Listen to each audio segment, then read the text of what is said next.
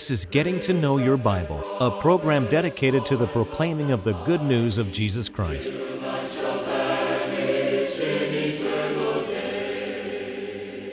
Here's Billy Lambert. I, I was riding with a friend of mine past a theme park near where I live, and they have a roller coaster. He remarked, It looks like it's bigger than it used to be. And he said, It doesn't matter because they'll never get me on that thing. Well, I feel like that myself. I have no intention of getting on a roller coaster because it turns you upside down. But I got to thinking, I live in a world like that, don't I? I'm living in an upside down world. That's what we want to talk about today. Why is our world so upside down? What can we do to make it right? I'm Billy Lambert, the speaker on Getting to Know Your Bible, and I, am uh, happy to have you watching today. And we want you to uh, know that you are our honored uh, listener today. Those of you watching for the very first time, we're delighted that you're watching. And we then have those that watch every time we come on the air. Uh, thank you for watching. Now, we want to pause long enough to tell you about a free Bible correspondence course that we offer. And let me tell you, it's free. And, and we want to pause long enough you can learn something about the course and how you can receive it. To help you in your study of the Bible, we want to send you this Bible correspondence course. This course is non denominational, it's based on the Bible, it's conducted by mail, and it's free. To receive this course, write to Getting to Know Your Bible, P.O. Box 314, Summerdale, Alabama 36580, or call toll free 1 877 711 5214. I'm reading today from the 17th chapter of Acts, and I want to read verses 5 and 6. But the Jews which believe not move with envy and took unto them certain lewd fellows of the baser sort, and gathered a company, and set all of the city on an uproar, and assaulted the house of Jason, and sought to bring him out to the people. And when they found them not, they drew Jason and certain brethren under the rulers of the city, saying, These that have turned the world upside down are come hither also. Paul, beginning in Acts, the 13th chapter, went on many, or at least three tours, missionary tours. Uh, actually, Paul made four tours because the last one was his when he went to Rome as a prisoner. But his first tour began in Acts, the 13th chapter, when he went out from the city of Antioch. But in our text today, he's on the third tour. He comes to the city of Thessalonica. And when he comes to Thessalonica, he, as was his custom when he would come into a city, he went to the synagogue. When he went to the synagogue, he began to preach about Jesus Christ. Well, wouldn't it be wonderful if everyone everywhere began to preach about Jesus Christ? Well, there were some that believed what Paul said about Jesus Christ. Then there were those who did not. And they became envious. They caused a riot. And they caused Paul and his fellow travelers, accused them of turning the world upside down. Think about the world in Paul's day. To, to, to, get a glimpse of the Roman world in Romans, the first chapter, Paul talks about the world in his day. Starting in verse 18, he said, For the wrath of God is revealed from heaven uh, against all unrighteousness and ungodliness of men who hold the truth in unrighteousness. Now, the, the, the word hold in that passage literally means to, uh, to resist, or it means to, to, to deny. They were denying the truth. They had turned their, themselves away from the truth. It wasn't because they did not have any knowledge about God, because in fact, they did have knowledge of God. No, notice in verse 19, he says, Because that which may be known of God has been, is manifest unto them, for God has showed it unto them. They knew about God, but they did not accept it. For the invisible things of Him from the creation of the world are clearly seen. We can see the invisible things. That is, you can look around you uh, and, and see the handiwork of God. So the invisible things of Him from the creation of the world are clearly seen, being understood by the things that are made, even His eternal power and Godhead so they're without excuse. There's no excuse for people not believing in God. It is my firm conviction that from the very beginning of time to the present hour, that all men have had the opportunity to know about God. Now, they may have corrupted their knowledge and they may have gone off into paganism, into idolatry, but originally they had knowledge of God, that there was a God in heaven. And then in verse, verse uh, 21, he said, Because that when they knew God, they glorified him not as God. Neither were thankful, but became vain in their imagination, and their foolish heart was darkened. That they were out of the light into the darkness. Now, verse 22 is very telling. Professing themselves to be wise, they became fools. That was the world in Paul's day.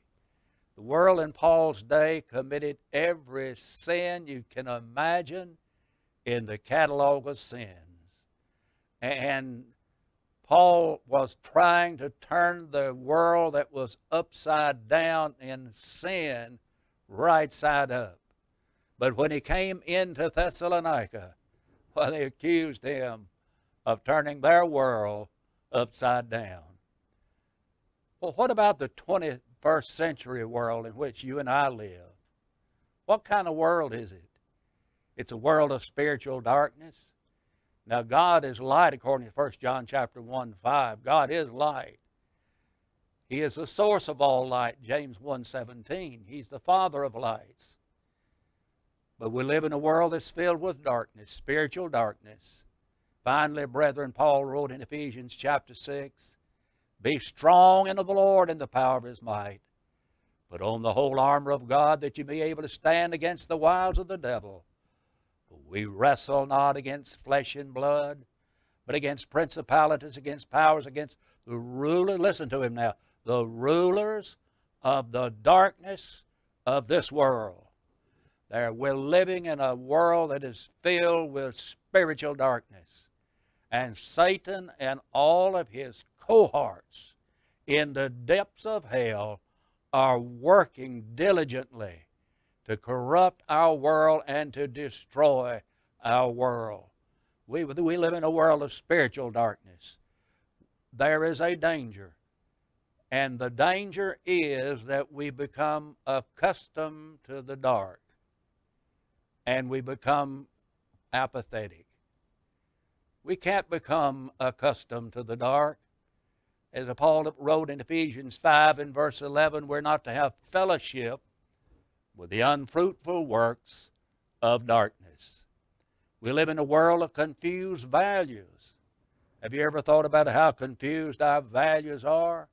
Isaiah chapter 5 and verse 20 says that they call light darkness and darkness light they call bitter sweet and sweet bitter.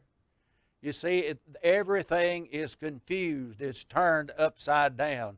And we live in a world today where our values are so upside down, they're so confused. We live in a world where life is cheap. Since 1973, when vo- the, the, law was passed concerning ab- abortion, there have been in excess of 60 million babies killed. And we live in a world where might makes right. And that has led to so many things. It's led to murder. It's led to lies. People think it's okay to lie, eh, but it's not right to lie. I don't care who it is. There is no individual who is big enough, strong enough, powerful enough, rich enough to get away with lying. It's a sin in the sight of God. And the Bible says in Revelation 21 8 that all liars shall have their part in the lake which burns with fire and brimstone. And so it's a world where might makes right. People murder, they lie, they rape, and they're the persecution of Christians. We live in a world where we've allowed the clanging cymbals of sin to drown out the cries of our conscience. You know, Paul in Ephesians 4:19 referred to the fact that some can get past feeling. And if we're not careful, we can get past feeling and our consciences become hardened and seared. And then we live in a world where we're bent on being politically correct and not spiritually correct.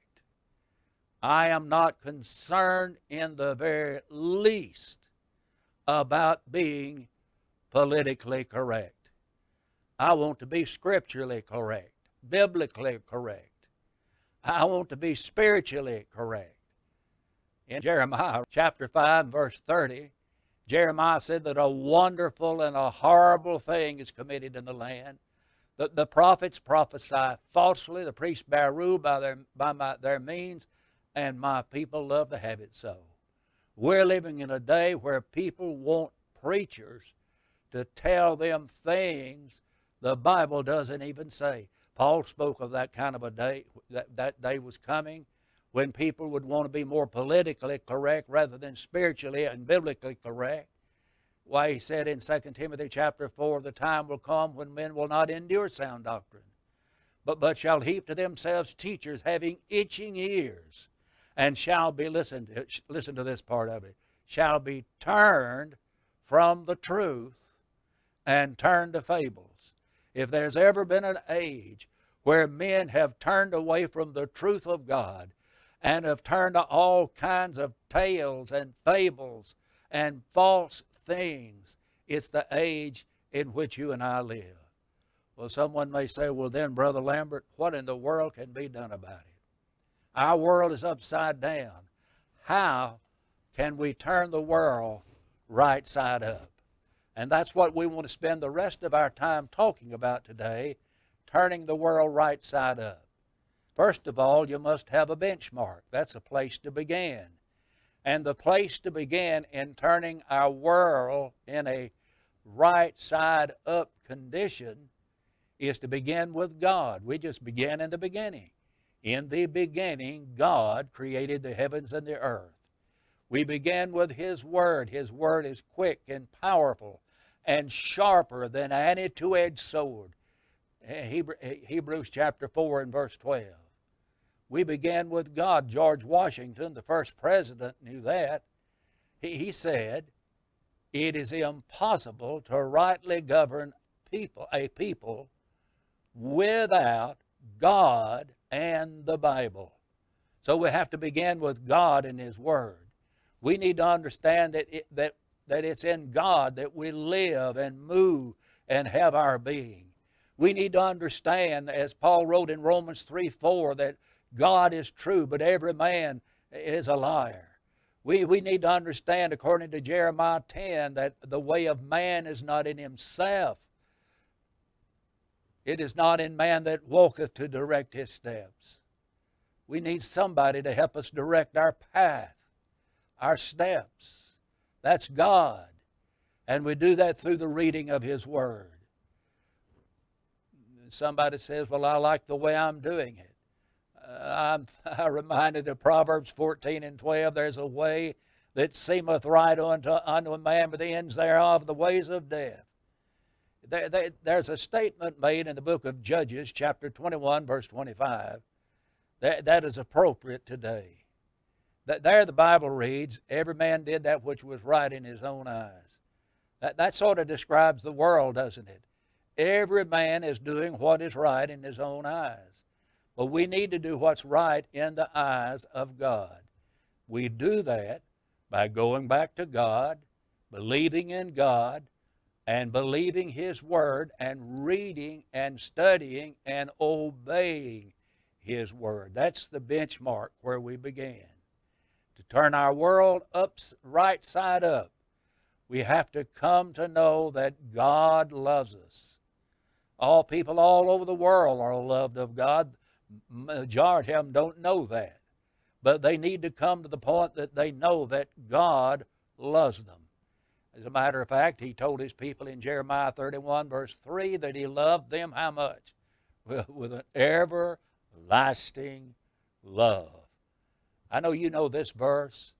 For God so loved the world that, that he gave his only begotten Son, that whosoever believeth in him should not perish but have everlasting life. So the, the God loves the world. God commends his love toward us in that while we were yet sinners, Christ died for us. God loved us when we were not lovable. God loved us when we did not want to be loved. We need to come to the point that we understand that we are loved of God and loved so much that He was willing to give the only Son that He had his only begotten Son for our salvation and, and to do something about the sin in our lives. But if we're going to turn the world right side up, men must be confronted with their sins. Oh, we don't like that. But if we're going to make things right in this world, we must be confronted with our sins. Isaiah 58 and 1 says, Cry loud, spare not. Lift up your voice like a trumpet, and show my people their transgressions, and the house of Jacob their sins. Those that sin, we need to confront and rebuke. 1 Timothy chapter 5 and verse 20. Isaiah chapter 1 is a description of ancient world, Israel, but, but how like our, our world is that described in Isaiah chapter 1?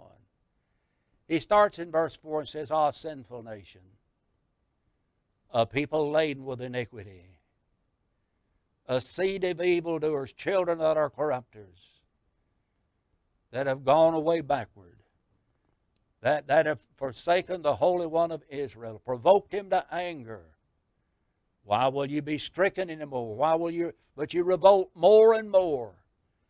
The more God tried to get them to do what was right, the more they revolted against Him. And then He described their condition in God's sight as a man that was sick.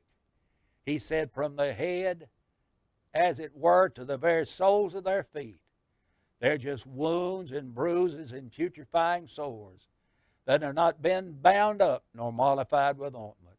In other words, God, God saw his ancient people as one great big moral ulcer, one great big putrefying sore.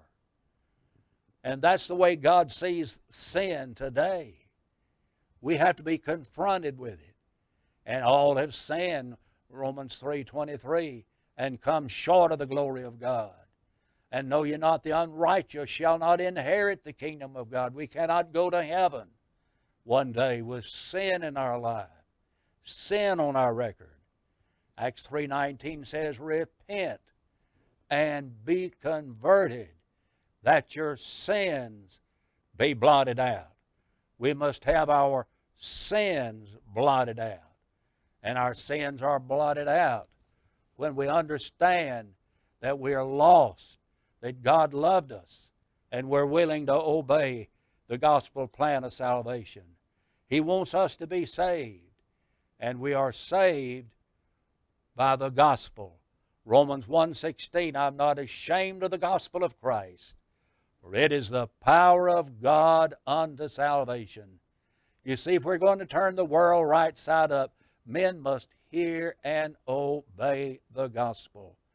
And that was the answer to the to the sin in Rome because Paul said in Romans 1:16 I'm not ashamed of the gospel. Listen to him now for it is the power of God.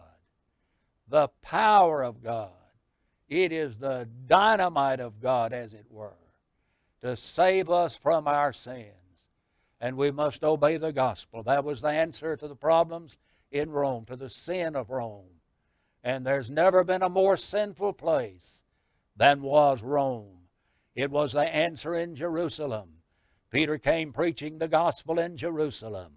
The people asked, What shall we do? Which is tantamount to asking, What must I do to be saved? But you see, he had confronted them with their sins. And, uh, and he let them know that the one they had killed on the cross of Calvary was none other than the Son of the living God. And when they heard that, they wanted to know, What must we do? And Peter answered and said unto them, Repent repent. They needed to repent why they'd killed Jesus. They needed to repent why? Because they were lost. They needed to repent why? They, because they were sinners. They needed to repent of what? They needed to repent of sin. Repent. Repent. Is there anything else, Peter? He says, well, be baptized and be baptized. What is baptism? Baptism is a burial in water. It is a, an immersion in water. Baptism is not sprinkling, it's not pouring, it's water over someone's head. Baptism is, is, a, is a burial in water. So he said, repent and be baptized. Well, how many of us, Peter? Every one of you. Without exception, every one of you. By whose authority? in the name of Jesus Christ. Why, Peter, should we repent and be baptized? For the remission of sins. Acts 3.19 is a parallel to this passage. Peter's pe- preaching, it's, he's standing Solomon's porch, and he says, Repent and be converted that your sins may be blotted out we need to have our sins forgiven. Someone says, well, what does remission mean in Acts 2.38? What does remission mean? He says, repent and be baptized for the, for the remission of your sins. Well, if you had cancer and the doctor treated you with various, in various ways, and then you go back for a checkup, and the doctor says, well, you're in remission, he wouldn't have to explain what that meant, would he? You, you would understand that the cancer that had been working in your body to destroy your body and your organs was, was no longer working in your body. It, it was in remission. And Jesus Christ is in the remission business. He remits sins Jesus said, He that believeth and is baptized shall be saved. Peter said, Repent and be baptized for the remission of sins. And you shall receive the gift of the Holy Spirit. That was the answer in Jerusalem. It was the answer in Corinth. In 1 Corinthians 15, Paul said, Moreover, brethren, I declare unto you the gospel, which also you have received and wherein you stand and by which you're saved if you continue in the things which I've spoken unto you. For I delivered unto you first of all. Now, this was the first thing he taught them. Christ died for what reason? For their sins. Died for their sins. Then he was buried, and then again the third day he was he was raised up from the dead. And Jesus, that's the gospel. the facts about the death and the burial and the resurrection of Christ. And we're to obey a likeness of that gospel. And that's what they did in Corinth. In Acts the 18th chapter, we read about the beginning of the Corinthian church. And in verse 8, the Bible says, And many of the Corinthians, hearing, believed, and were baptized. Now remember, Jesus said, He that believeth and is baptized shall be saved. Acts 8:12 says, when they believed Philip, preaching the things concerning the kingdom of God in the name of Jesus Christ, they were baptized. They believed, they were baptized. The Corinthians believed, they were baptized. Jesus said, He that believeth and is baptized shall be saved. So the gospel was the answer to the world condition in Corinth. What about in Philippi? Paul heard the Macedonian call in Acts chapter 16, verse 9 come over to Macedonia and help us. In Acts chapter 16, starting about verse 25 down about verse 34, is the account of where Paul was and Silas were put into prison. And they were singing and praying, and, about, and the prisoners heard about midnight there was an earthquake. And the prison door was open. And the prisoners could have escaped. And the jailer was about to take his life. But he was told, Do thyself no harm, we're all here. And he said, Sirs, what must I do to be saved? He was taught the gospel. He was taught to believe, and he was taught to be baptized. For the very, the, the, the, we're told in Acts chapter 16 and verse 33, 34, that he took them the same hour of the night and washed their stripes, and he and all of his household were baptized, and it was the same hour of the night. We can turn our world right side up, but we've got to get back to God and doing His will. I want to thank you for watching today, and I, I am just thrilled that some of you have, are watching today for the very first time. Thank you. Thank you so very much. And, and we want to invite you to visit the Church of Christ in, in your community. If you're not certain where it's located, uh, we'll, we'll find that for you. Just let us know. And also, pick up the telephone right now. Call for the free Bible correspondence course. Do that without delay, and we'll send it to you. I want to thank you for watching today, and until we meet again, may the Lord bless you and keep you, is my prayer. Getting to Know Your Bible has been presented by Churches of Christ. If you have a question about the church, or if you would like the location of a Church of Christ near you, or to receive the free Bible course, write to Getting to Know Your Bible, P.O. Box 314, Summerdale, Alabama 36580, or call 1 877 711 5214. Join us next time for Getting to Know Your Bible.